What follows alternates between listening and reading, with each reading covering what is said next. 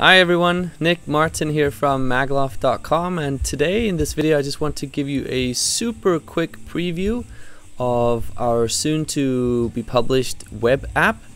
So not only will you be able to publish your magazine in iOS and Google App Stores, but you will also be able to publish it in the web browser.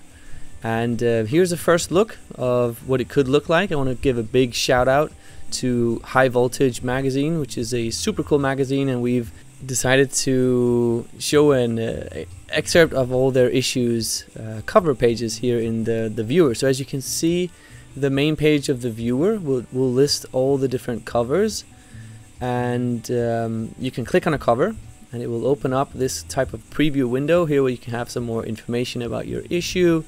Uh, there's going to be purchase information, subscribe subscription information uh, down here as well. And in order to go in and read the issue, click the play. And here you can see uh, here's another shout out to ecotimes.tv which is also a really really cool magazine and a client of ours who have amazing pictures.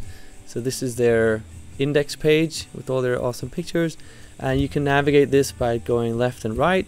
And you can see it has a pretty nifty page turning effect. And actually we can do uh, different types of effects. And we can have two pages next to each other. It's all coming out really soon as well and uh, you can go back just close the issue preview page here and go back to the main shelf where you would have all your cover issues listed. And uh, just in case you haven't noticed this here is actually a Mac app. So it's a standalone Mac app. You can see we've got the name up here and you could go up into different settings for the Mac app um, which also means that you'll be able to offer your subscribers a chance to download the app and have it for offline reading.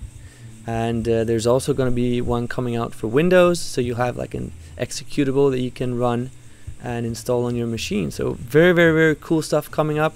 Uh, we just wanted to give you a quick preview of what it could look like. It's still much under development, but at least this is a really good shot. And um, we look forward to keeping you up to date and uh, showing some more previews hopefully very, very soon. Thanks a lot for watching in and talk to you soon.